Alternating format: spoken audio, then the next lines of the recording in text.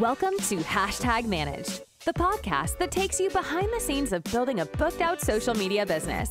Tune in every week for transparent conversations from a six figure social media agency owner, sharing the highlights and lowlights of being a business owner, and episodes featuring industry experts to help you start, scale, and book out your own social media management business.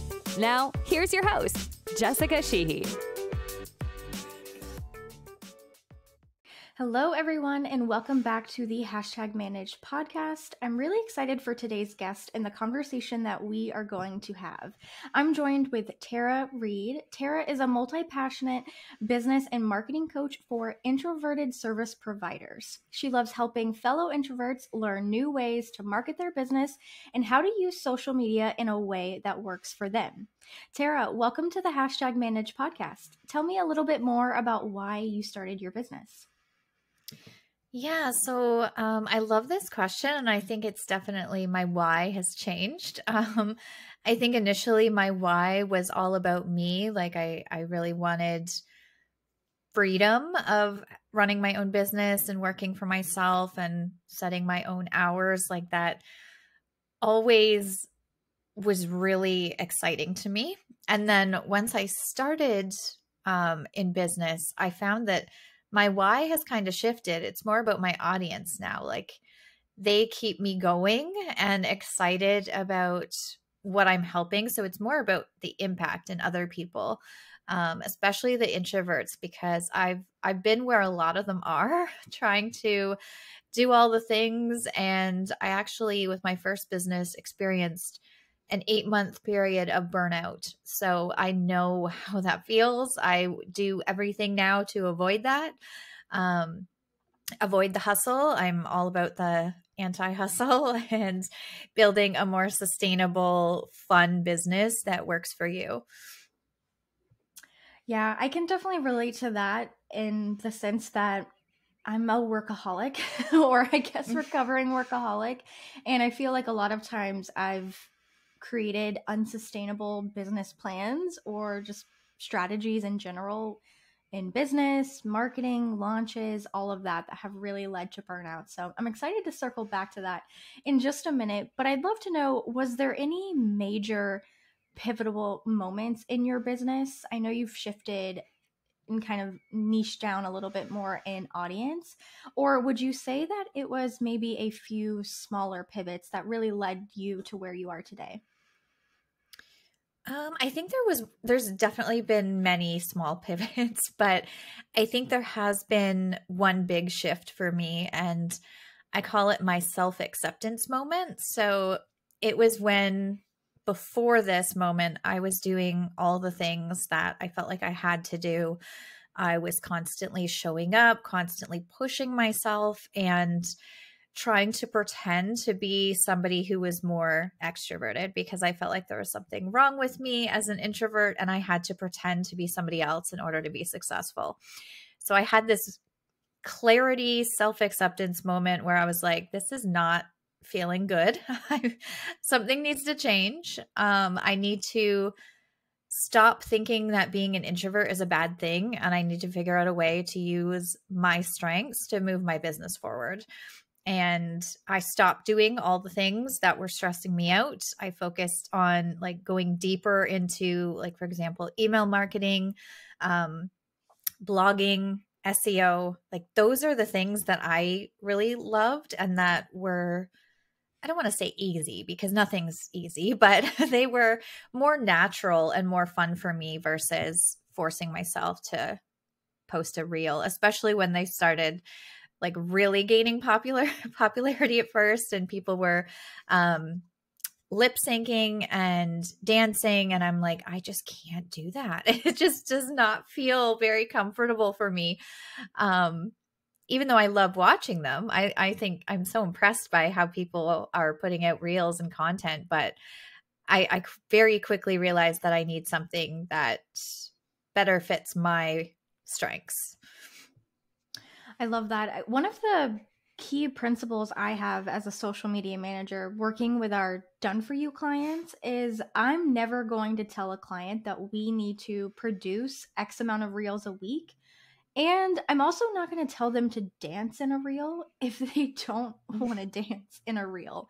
And I come about that decision because I I will do reels. I I'll lip sync, I'll do different things. You definitely won't catch me dancing. I'm not that that's not my personality.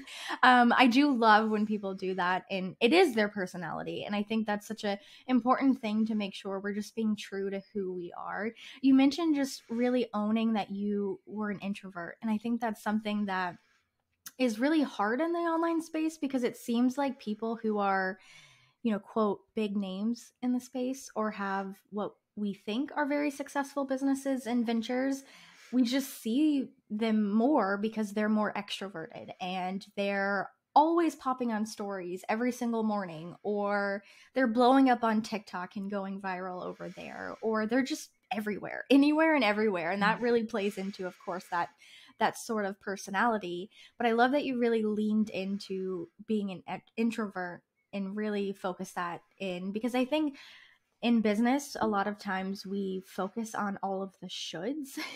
and I think mm-hmm. sometimes that, well, I should do this. I should be on reels. I should dance. I should show my face on stories or whatever that entails. But when we're really forcing it, that's when really no results happen.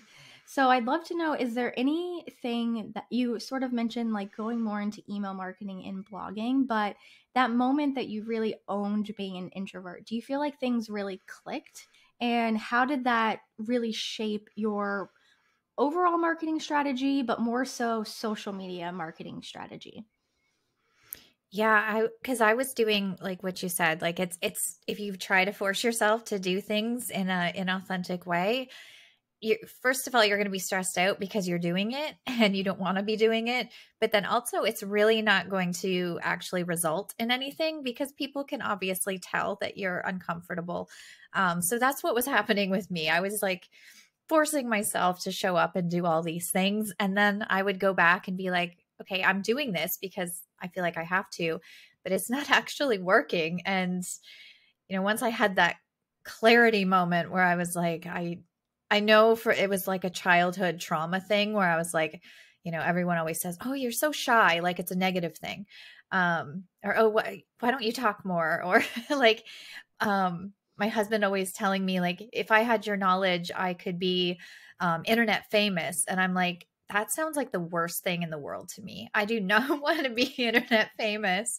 I want to um have a smaller community that is more engaged that I can really connect with and really understand um, so that was a big shift like mindset shift for me too is like going from oh i want to grow my instagram page to 10k at, at, the time i was like i want that check mark and it's like but that's that's really not what i actually wanted and and needed from my audience and i think owning who i am i mean my engagement has been amazing through emails, like the amount of replies I'm getting, the relationships I'm building. It's just, it's totally been transformative. Yeah, I think that's great. And you're really speaking my language when you mentioned, why are you so shy? Maybe you should mm. talk more. I get that and have gotten that my whole life. And that is something that I always wondered why people said that to me because that was one of my favorite qualities of myself and it still is. I love that i can sit with my own thoughts and be happy and sit and think about different things and i just that was always part of my personality and i think it's so interesting that it seems like the right way is that you need to be you know loud and outgoing and extroverted but there's so many introverts and when i meet new business owners and various industries, even outside of the marketing world, they're introverts themselves. And it really just showcases where their personality lies and that sort of thing. And I love that you mentioned kind of wanting to reach those goals. I think a lot of people, I think people are still wanting that 10K Instagram follower goal. It's still, you know, even though we got link stickers and it didn't need that mm-hmm. first swipe up anymore but it's still something that people really strive for. Maybe that's, you know, they really want X amount of subscribers on YouTube or they want to reach their email list to X subscribers, or they want to go absolutely viral on TikTok and reach all of these people, which can all be done. But a lot of times, kind of circling back to what you mentioned at the start of the show, is that it does lead to burnout. I'd love to know what is what are a few ways that you either can tell that you're on the verge of burnout and maybe on the other side or just maybe instead what do you do to prevent burnout in business especially as an introvert? For me i can usually see the signs if um like because i plan everything i'm i'm big on like flexibility like i i put due dates on things and ClickUp but they're not like set in stone most of them um, but if I start to see that, you know, I had something that I wanted to get done and I've pushed it off like two or three times, I'm like, okay, if there's a lot of them, then I start to think, okay, why am I not doing these things? Um, am I feeling overwhelmed?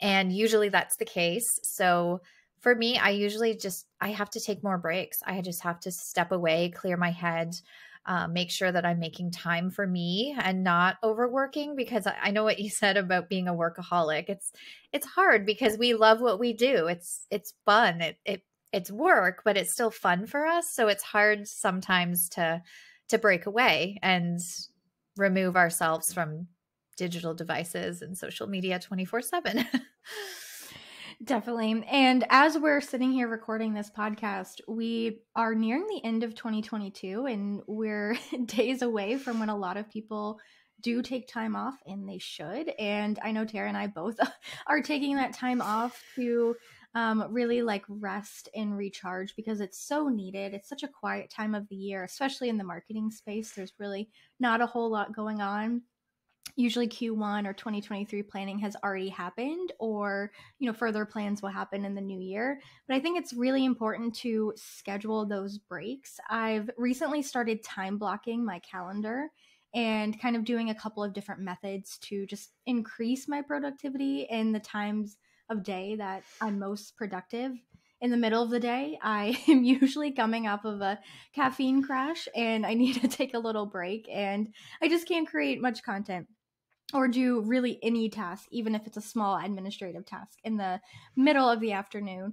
But I think it's really important to time block the calendar, but time block those breaks and actually like keep that as a boundary for myself and say no to calls during that time or say no to Zoom calls or I don't check Slack, I don't open, you know, Voxer or my email or anything like that. Mm-hmm. And also staying off of social media. I know it's hard as a marketer and social media manager, but it's really great to just stop consuming that content for a little bit. Mm-hmm. So, Tara, I know you've been an entrepreneur for 16 years in the online space. I'd love to know what has been the biggest challenge or lessons learned Oh gosh, so many. I think um I I think moving into more of like um human first um ethical marketing. I've I've learned so much like when I first started it was all about bro marketing and like icky sales tactics and I'm so glad that things are changing because that never felt good to me. I never wanted to do that. I'm definitely not a salesperson. Um, like my first nine to five job, I was tech support, but it was actually less focused, like the measurement of how well you did your job was less on the tech support and more on how much you can upsell after saving their or resolving their issue. And that always bothered me because I was uh, amazing at tech. I, I loved figuring out a problem and solving it. But the company, that didn't matter. You had to be good at sales and I was not good at sales. So I'm glad that things in the online space are shifting and it's more about like connections and um, being authentic versus being totally salesy and all of these things that felt a little icky um, to me as a consumer uh, and as a marketer. I think really as we get more into a post pandemic world, I think more and more people are really opening their eyes to the icky salesy marketing tactics and just I think consumers are always have always been educated for a while and we live in such an amazing time with technology that you can really figure out things and find information and so much is at our disposal to make those informed buying decisions in whatever we're buying or purchasing or thinking about purchasing. So I think it's really great that we are shifting into more ethical marketing. I'd love to know is there any piece of advice maybe one or two or a few things that someone can do to really consider their marketing strategy moving into um, 2023, moving into the new year, or just making better connections with their audiences? I think one of the biggest things that I would suggest and that really moved things forward for me is getting really clear about your audience and your offers. Um, I always struggled with that because I'm also multi passionate and have so many different things and topics, and I just love it all. So, everyone always says niche down. You have to niche down to one thing. And I tried that. That was more advice that I was like, okay, I have to do this to be successful. And I would get bored after three or four months because I didn't want to just do one thing. And once I was like, okay, I know now this is not for me. I'm tired of pivoting every three or four months and confusing my audience. So, how can I figure out a way to make this work for me as a multi passionate and not try to force myself into a box? So, I started really digging into like the value ladder concept. So, I I love having a lot of offers and uh, different topics. So, for me, I probably have I think at the, right now like seven or eight different value ladders um, by topic, and then three to five offers per ladder. So um, I really think more about my audience, their journey, um, what they need, what the next step will be, um, and how I can help them. I think mapping that out and getting clarity around your offers and they don't all you don't have to niche down. You can have multiple ladders like i do. I have a bazillion offers. Um it really moved things forward because I felt like I wasn't I didn't have to only stick to one topic or I didn't have to only talk to one audience. I was able to talk to multiple audiences that maybe have some things in common. And I think one thing that really helps with that is too because I started focusing a lot on email marketing, like really segmenting your list and real like if you're multi-passionate and you talk about multiple things, really segment your list. Like I think right now I have about 200 tags in ConvertKit um, to narrow down my audience based on what they've signed up for, what they've purchased. Um, and then I very rarely now send an email out to my entire list. I'm really targeted on who I'm talking to, but still talking about many different things. I love that. I obviously love social media, being a social media manager, but I also love email marketing. And that's always been maybe an upsell or like a lateral sell to our done for you projects with adding that email marketing component. But over the last like six months, maybe six to eight months, we've really leaned into owning just sort of being like a social media and content agency because we have an incredible team with different skills in different areas and I really believe social media and email marketing should work together. They all really work as part of an overall marketing strategy and they are used in different ways to really nurture our clients or our customers, no matter what part of the uh, journey they're on. But I love that you mentioned that you're multi passionate and basically gave that permission slip that it's okay to be multi passionate and have multiple avatars, multiple audiences that you're marketing to.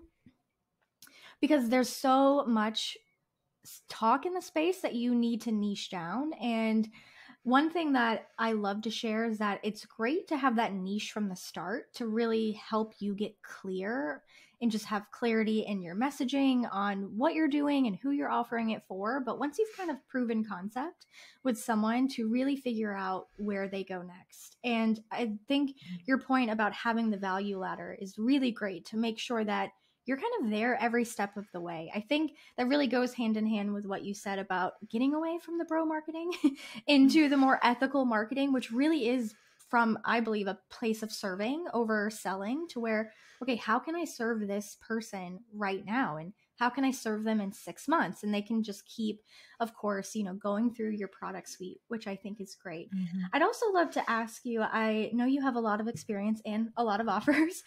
Do you think that there is a right or wrong answer to what you should do first in terms of your offers should you do the one-to-one offer should you do a more passive product i'd love to hear if you have any um, thoughts around around that yeah, my biggest tip is is to start with whatever is going to be easiest for you. Um, whatever is going to be easiest for you to create and get out there.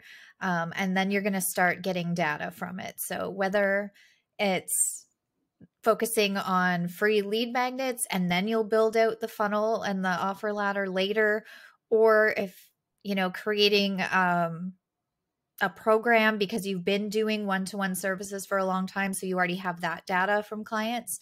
Um, basically whatever is going to be easiest for you to go from idea to people can buy it. Because um, otherwise i mean i've i've worked with a lot of people who have all these ideas but they can't implement and pick one to move forward. So it's always like okay what can we do right now that's going to be really quick that we can get out like within a week like, let's focus on that first, and then we can always build other offers into the ladder later. Yeah, I think one thing, especially I know I hear all the time in our community, is someone is sitting and really just simmering on their idea. They know what it is and maybe how it's going to be delivered. Maybe they're missing maybe one key component on what the messaging is or like who specifically it's for or maybe they're hung up and probably hung up on pricing and they're not really sure if they're ready to release that into the world and to just offer it. And a lot of times they have that proof of concept. They've worked with the one-to-one clients. They probably have the data on, you know, customer satisfaction, client satisfaction, retention, anything like that, but it's just figuring out what to do. And I think a lot of that is maybe a mindset shift a little bit of just wanting to perfect it before putting it out in the mm-hmm. world but i i do believe that of course with making informed decisions but doing an informed messy action i think is sometimes where the best results can happen. Obviously we don't want to just wake up one day and have a crazy idea and have zero data behind it and put so much time and resources into it if we're going to potentially lose that. But i think if we just sit on it for a while we might just sit on it too long. And by the time that we do release it out, our audience might not even be at that point anymore. Maybe they've advanced, maybe they've bought from someone else, um, or maybe it's just no longer what they need right now in that moment. Yeah, I've definitely been there. I think if you're an ideas person, sometimes it can be hard to like, which one am I going to move forward with first? And then the rest of them just kind of sit there and marinate and then you forget about them. so I'm I'm big on done is better than per- perfect. Like you can always go back and tweak things and perfect it. Um, but nobody can buy unless it's available. And there's somebody out there who needs it right now that you know you're doing yourself and and your audience a disservice from not putting it out there. Yeah, yeah, I completely agree. So, one thing that I definitely want to dive into a little bit in this episode is something that I know you're currently going through now, and I don't know if you have a plan of when that would would end, but I really want to talk about it, especially since this is a topic that a lot of people in our audience also consider they go through um, or they're also social media managers and i think they would love to just hear the perspective on it. So i know you've been on a bit of an instagram hiatus so I'd love to talk about that, the decision behind that, because I think as business owners, we need to take breaks, as we mentioned. it's the one thing to mm-hmm. prevent that burnout, especially as introverts. So can you share more about that decision and what that's been like for you? And if you do have any any plans to um, kind of exit that hiatus? Yeah, so I think it was um, January 2021 is when I first started thinking about do I want to stay on Instagram right now or is it time for a social media break? And I was really feeling like I wanted to take a break, like I needed to. I was like, anytime I would open the app, I, I don't think it was more like I'm burnt out with creating content. I love creating content. It was more like just going on the app and scrolling my feed. I was just getting so overwhelmed with all the noise. It was like, I need to shut off the noise for a bit and like step away from this. Um, but I had so much content already ready and written that I was like, okay, I'm just going to schedule out what I have ready and then reevaluate at that time. So, I mean, that was January, and I think I ended up taking the break in June. So I had like six months of content ready to go, which was great. Um, so I was still posting, I was still there, but I wasn't intentionally engaging or like really going on the app at all. I was just letting the content run its course because I was like, I, I have to use it. I created it. So let's just keep sharing it and then I'll figure out what I'm going to do next. And when the time came where I was like, okay, I'm running out of content, it's all scheduled. Um, so what am I going to do? I went in and looked at the my numbers. I was like, so the time that I was spending on Instagram versus the traffic I was actually getting to my website. Um, and if that was worth the time investment. And I, decided it wasn't. Like I was getting more traffic from Facebook at that time, and I was putting zero effort into Facebook. So I was like, okay, I'm going to take a break. I think this is a sign. I've been kind of on a semi break for the last six months. So I'm going to make it official. Um, I put up my goodbye post in June, and I've only opened the app maybe once every week or every other week just to check messages. Um, I haven't been scrolling, I haven't been consuming content, anything like that. And it's felt really freeing. I, I think I will probably end up going back, but I think what I'll do is I'm going to have, I created, uh, recently created because somebody was asking me um, a nine grid template. So I think I'm going to do the nine grid um, template with all the important information that somebody would need to know. And then I'm just going to focus on stories for a little bit and see how that feels and and how that does. Yeah, I think that's great. And I love that you really made a real intentional plan for taking that hiatus. I mean, I know there's a lot of things that happen, like external factors that maybe affect someone to take that hiatus on Instagram, or maybe it's another platform they're marketing their business on. But I love that you had that content to really stretch that out and then made that informed decision just based off the data, which I think a lot of times we as entrepreneurs have the intentions to do that, but sometimes it's and it I'm just going to say it is easy to use emotion to make those decisions. That's one thing that I've really tried to get better at over the last couple of years is to remove the emotion out of it because sometimes it is you know, to use such a cliche term, you know, business is business and that's not to not to say mm-hmm. that we're doing any bad deals or, you know, doing anything like that, but just sometimes when you have to make those decisions like, okay, do I keep going all in on this platform if it's not really bringing that return on my time or just investment? Then maybe it just doesn't make sense moving forward. Mm-hmm. So I'm really intrigued with the Instagram 9 grid and I've seen it work for some people. I know I think I've seen people sort of do it two ways, doing it the way that you mentioned of being more active on stories, which I think, of course, is great for that personal element, really nurturing your current audience. And of course, people can still find you on on Instagram. And then I know people have been doing it the other way, and they've been really leaning more into Instagram Reels for their content. I think that just kind of comes down to us as content creators with what are we more comfortable creating? Do we want to show up in stories? Because to me, stories feel like a safer place on Instagram to just kind of share, like, okay, here's here's what I'm doing. I know just a few days ago I shared that I've been sick for a few weeks and I finally got over that and I just kind of wanted to share that with my with my Instagram followers on stories. I don't know if I'd send that in a newsletter I don't really have any content to kind of go along with that, but it was something that it just felt good to share where I feel like on Reels, it's so much more high energy of doing the trends, whether you are doing the dances or the lip syncing or just, you know, sharing Reels in general. So I really love that point of view and just that permission slip, to take that hiatus, because Mm-hmm. I think that's definitely necessary to do at certain points, um, especially if other areas of business, especially email marketing, are going better, then um, it just makes sense. And like you mentioned, Facebook. I Mm-hmm. love that you mentioned Facebook because I think a lot of times business owners and maybe marketers who are just burnt out on the Facebook's platform, they're just over Facebook. So I love that it's still bringing a lot of website traffic to to your website and you're really leaning into it. Would you say that is coming from um, your profile page, a group, or maybe any sort of like outbound marketing done on Facebook? Um, I think primarily it's um my I have a private group, so anyone who purchases anything from me gets invited to a private group.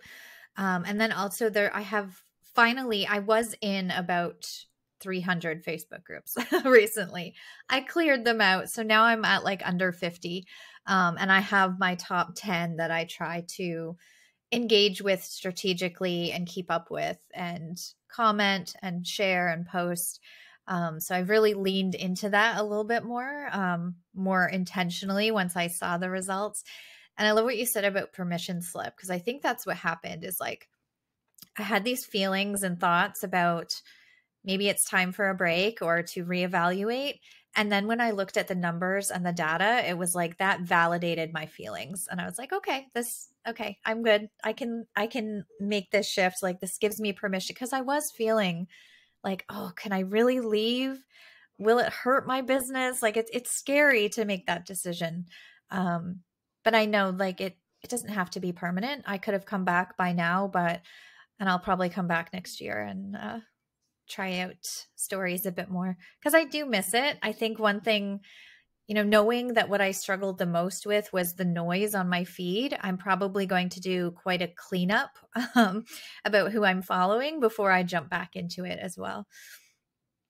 Yeah, I think that's really great and just really important because we all go through phases. I I know I go through phases where I kind of lean into maybe more of a topic or I find a great creator or a business owner and I connect with them and of course Instagram's algorithm works in various ways that maybe we love or don't love and sometimes I just don't see their content for a while and then it'll pop back up and I'm like I don't really know if I feel super connected with them. I've started to get a little bit better about cleaning out accounts on my business Instagram of who I'm following and different things like that. Because if I am trying to look for maybe a contractor or another service provider to hire internally, then I I do go on a mass following because I want to connect with people and have those conversations. Mm-hmm. But then it just doesn't make sense for me to kind of keep following them because, like you've mentioned a few times, which I think is really important to highlight, is that it just adds to the noise and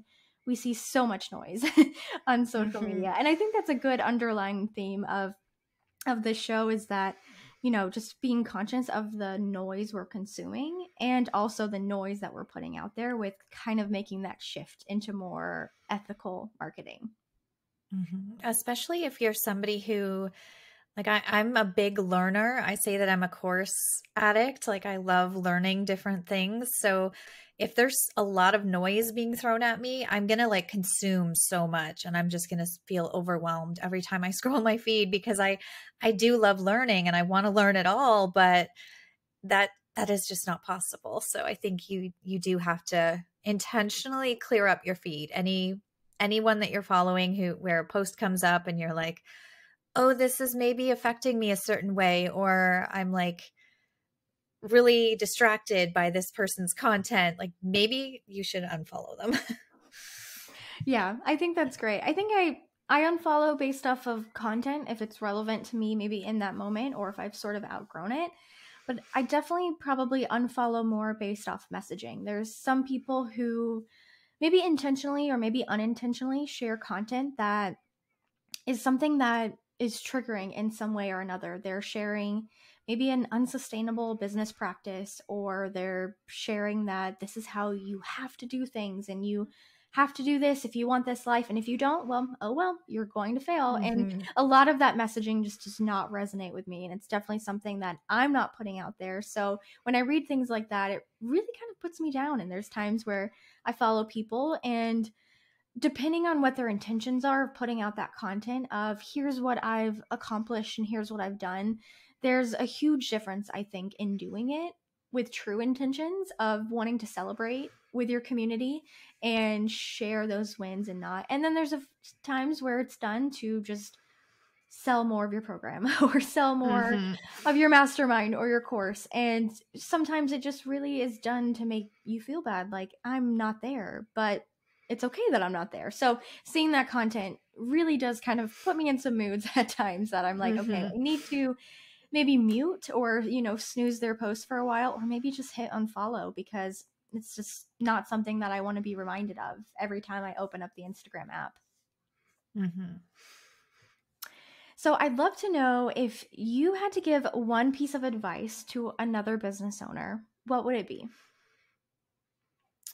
Um, I think the biggest and best piece of advice that I wish I was told, like in the my first 10 years of business, um, would be to just be open to trying new things and looking at the results, figuring out the path for you. Um, take in as much advice as you can, but don't get stuck in that advice. Like, think about how that advice can work for you. Don't ever feel like there's one way that you have to do something. You can always carve your own path based on your personality, your strengths. Um, so just give yourself that permission to play, try new things, and figure out your own path forward. That's so great. And I think so important just to remember as a business owner, whether you're just starting out, maybe you haven't started yet and needed a little bit of encouragement to do so, or maybe you're years in business. Business is definitely a cycle. There's ups and downs and highs and lows. It's really all about the journey and the ride mm-hmm. of that mm-hmm. of that metaphor. Um, so for our last question in today's show, Tara, I'd love to know um, how has social media deepened the connections with your audience or community, um, or how has social media impacted your online business, or maybe it's opened any doors. I I know I talk about it a lot in terms of like my introvert audience. So people think I'm against social media and I'm not. I I'm against um, doing it in a way that doesn't feel fun for you and whatever that looks like. So I I love social media. I love that we're so connected and I think focusing more on the real authentic connections is going to move your social media results forward. Like don't just focus on spewing out how to content continuously. Really focus on making an impact um, to whoever needs what you're doing and the knowledge that you have. And you're going to naturally draw in the right people and attract them to you. And then if you continue to show up, you can continue to build that relationship. I've made so many collaboration partners through social media, um, people reaching out for summits or podcast interviews. And usually we then move it over to Facebook where we become Facebook friends and then Messenger, um, just because they know I'm not on Instagram at this point in time. But it's it's really made a difference. And I think the shift for me was when I stopped focusing on it as like, standing on a mountain and just shouting out content and noise because um, I really felt like I was starting to add to the noise with all the content I was creating and really scaling that back and focusing more on building those authentic connections. That's when things really started to shift for me. Yeah, I love that. I love that. Well, thank you so much, Tara, for taking the time out of your day to talk with us and share your expertise. Where can our listeners find out more about your business and your offer suite? Yeah, so my website, thetarareid.com. Um, I do have an everything page which lists every freebie, um, every offer that I have. I do think there's a couple I need to add to it, but for the most part, everything is on that everything page and i have a ton of free resources that you can sign up for and then you'll be on my email list which is where i try to send the most helpful information and content and we can connect. Amazing amazing. Well we will include links to all of the important places to connect with tara also also her instagram so we can follow along. Once she gets back from her hiatus mm. and on the Instagram nine grid journey. Well, thanks again, Tara, so much. And until next week. We're more than just a podcast and community. We're a collective. The Social Savvy Collective membership was built for social media managers just like you. It's time to learn the skills, strategies, and systems that you need to build a thriving social media management business to achieve the time, financial, location, or all of the above freedom you're after. Head to the show notes or go to socialsavvyhq.co forward slash podcast to learn about the endless resources and support that are waiting for you inside. Thanks so much for tuning in to this episode of Hashtag Managed. If you're enjoying the show, please feel free to rate, subscribe, and leave a review wherever you listen to your podcasts. That helps others find the show, and we greatly appreciate it. Come back next week for another new episode of Hashtag Managed. We'll see you then.